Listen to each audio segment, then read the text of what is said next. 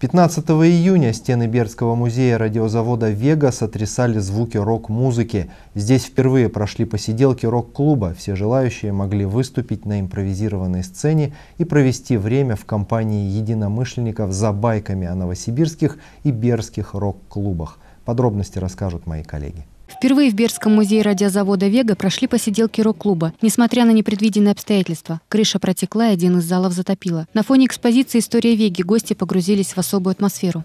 У нас была идея отремонтировать какую-нибудь из веговской техники, чтобы демонстрировать в основном детям, которые вообще не видели, как играют пластинки. Вот нам отремонтировали бывшие сотрудники БРЗ, проигрыватель, который там на заднем плане играет. Начали искать пластинки, нам принесли большую подборку, и так получилось, что больше половины там были рок. И как-то мы вот начали думать, что как-то это надо использовать, и вот так спонтанно пришла идея организовать рок-посиделки там с гитарами, с чаем, с разговорами. Весь вечер на импровизированной сцене свои песни исполняла бердская рок-группа «Мирный воин». Растворяясь в утренних туманах,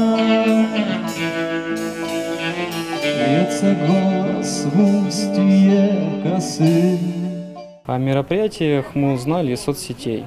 То есть по объявлению связались э, с организаторами, нам показалось очень интересный формат был заявлен мероприятия.